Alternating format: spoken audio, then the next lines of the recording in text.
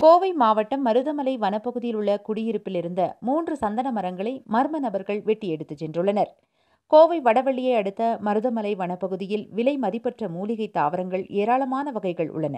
இதில் மருதமலை அடிவார பகுதியில் வனத்துறைக்கு சொந்தமான வன குடியிருப்பும் உள்ளது. இந்த பகுதியில் தேக்கு மற்றும் சந்தன மரங்கள் வளர்க்கப்பட்டு வருகிறது. இந்த குடியிருப்பில் உள்ள ஊழியர்கள் நேற்று இரவு யானை விரட்டும் பணிக்கு சென்ற நிலையில் குடியிருப்பு பகுதிக்குள் புகுந்த மர்ம நபர்கள் இருபது வயதுடைய மூன்று சந்தன மரங்களை வெட்டி கடத்திச் சென்றுள்ளனர். இதன் மதிப்பு பல லட்சங்கள் இருக்கும் என கூறப்படுகிறது. வன பணியாளர்கள் யானை விரட்டும் பணிக்கு சென்றுள்ளார்கள் என்பதை கண்டறிந்த மர்மநபர்கள் இந்த சம்பவத்தில் ஈடுபட்டிருக்கலாம் என தெரிய வருகிறது. மேலும் வெட்டப்பட்ட சந்தன மரங்களை வனப்பகுதி வழியாக கடத்தி சென்றிருக்கலாம் என நம்பப்படுகிறது.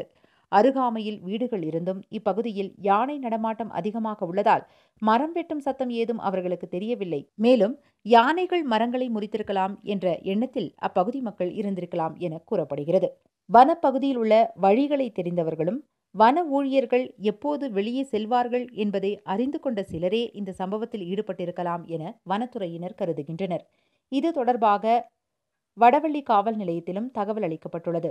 வனத்துறையினர் அந்த பகுதியில் சந்தேகத்திற்கு இடமான நபர்களிடம் விசாரணை மேற்கொண்டு வருகின்றனர். கோவை நகரத்தின் முக்கிய விஐபிகள் உள்ள இடமான ரேஸ்கோஸ் ஆரஸ்புரம் குனியமுத்தூர் பகுதிகளில் தொடர்ச்சியாக சந்தன மரங்கள் வெட்டி கடத்தப்பட்டு வருகிறது.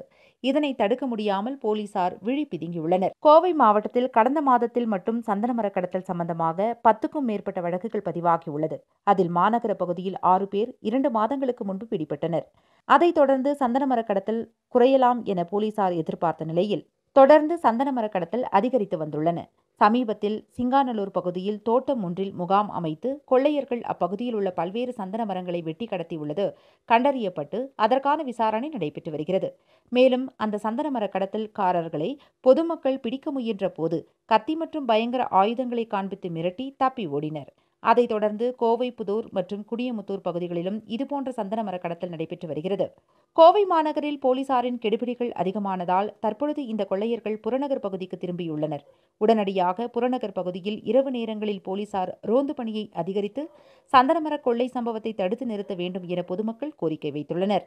இதே நிலை தொடர்ந்தால் உங்களுக்கு மட்டுமல்ல பொதுமக்களுக்கும் பெரும் அச்சுறுத்தல் ஏற்படும் நிலை ஏற்பட்டுள்ளது.